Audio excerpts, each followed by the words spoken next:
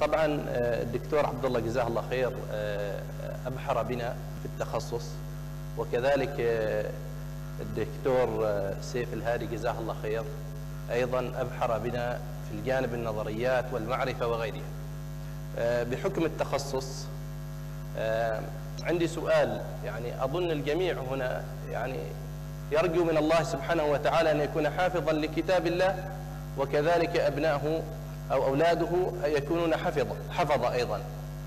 أتصور هذا الجميع يعني عند الجميع.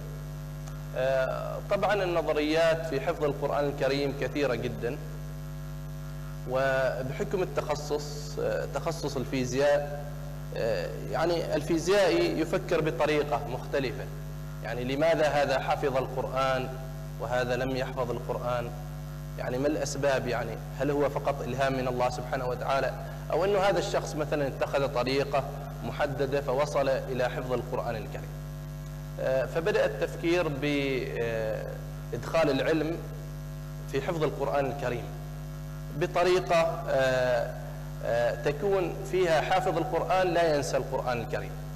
والحمد لله بعد التجربة التي خضناها في منهج القلاع السبع لحفظ القرآن الكريم تقريبا ما يقارب أكثر من 16 دولة ترجم إلى ثلاث لغات والآن تستخدمه كثير من الدول في حفظ القرآن الكريم.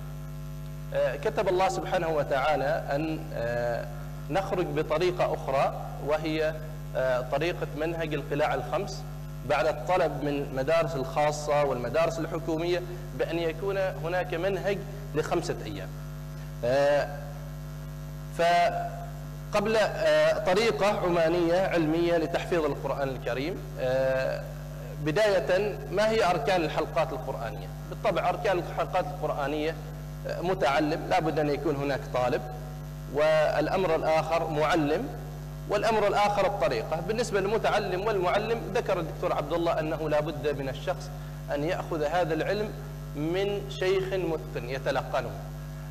أما المتعلم فهو الطالب والجميع لابد أن يعني أن يدفع بابنه إلى هذه الحلقات. أما الطريقة وهي الطرق والطرق كثيرة جدا. منهم مثلا في بعض الدول في تركيا مثلا لا يحفظون القرآن إلا بالطريقة العثمانية ولكن لا يحفظ القرآن إلا بهذه الطريقة.